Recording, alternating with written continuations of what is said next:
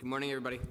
Uh, Welcome to the meeting of the Subcommittee on Zoning and Franchises. I'm Councilmember Steve Levin. I'm filling in for Chair Moya today.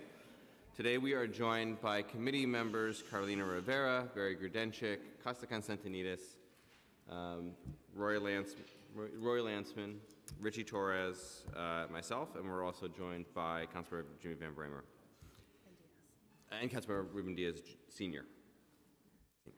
This morning, we will uh, vote to approve land use numbers 209 and, uh, sorry, 209 through 213, uh, the Jackson Avenue applications for property in Councilmember Van Bramer's district in Queens. HPD and DCAS are seeking to approve the disposition of a negative easement on a city-owned parcel, Block 267, Lot 25, for the benefit of the two development sites in connection with the sale of development rights from that city-owned parcel and the disposition of a permanent easement on Block 267, Lot 25 for the purposes of light and air for the proposed developments. These actions would facilitate the development of two mixed-use buildings at 26-32 and 27-01 Jackson Avenue.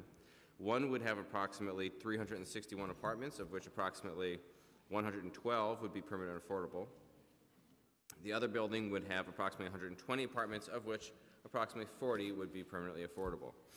For each development site, there is a related private application from 2701 Jackson Avenue LLC and 2632 Jackson Avenue LLC for special permits to modify the street wall location and setback provisions of zoning resolution sections 1, sections 117 uh, dash uh, 531 and 117 dash 532.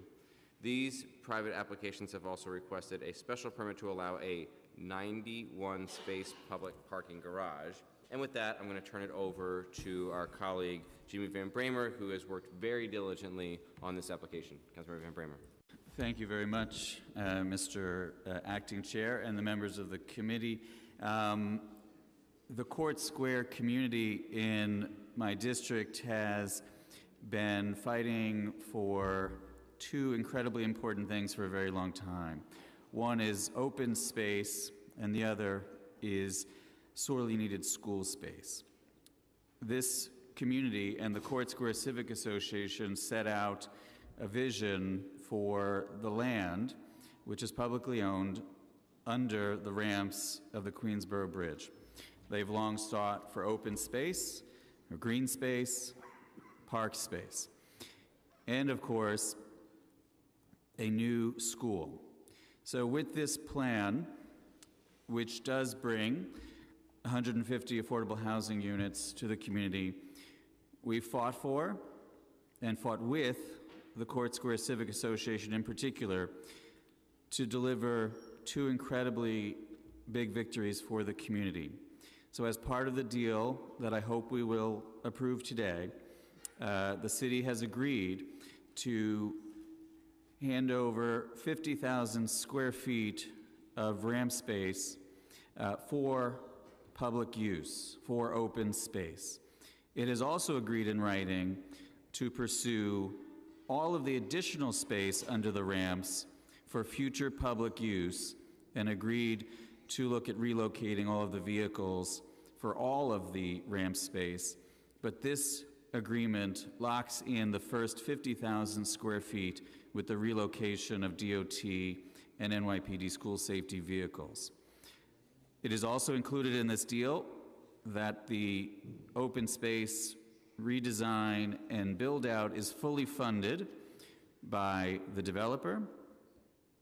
And I'm really excited to note that included in this deal is an ironclad agreement by the School Construction Authority to fund, fully fund, a brand new UPK through fifth grade elementary school in Court Square. So the Court Square community and the Court Square Civic Association, which supports this agreement and has uh, given us a quote from Pedro Gomez, the president of the Court Square Civic Association, uh, has worked hard to deliver significant victories.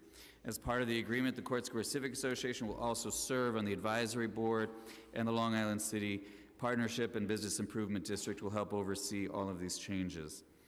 Uh, We also have a written agreement uh, between the developer and local 32BJ of SEIU uh, that all of the building service uh, jobs in this building will be union with good wages, good benefits, and 32BJ has voiced support for this agreement. So uh, the affordable units are about 32% overall, 150 affordable units. But again, this community needed desperately to have open space and school seats. Both have been secured as part of this agreement, and ultimately going forward, a vision to secure all of the space under the ramps.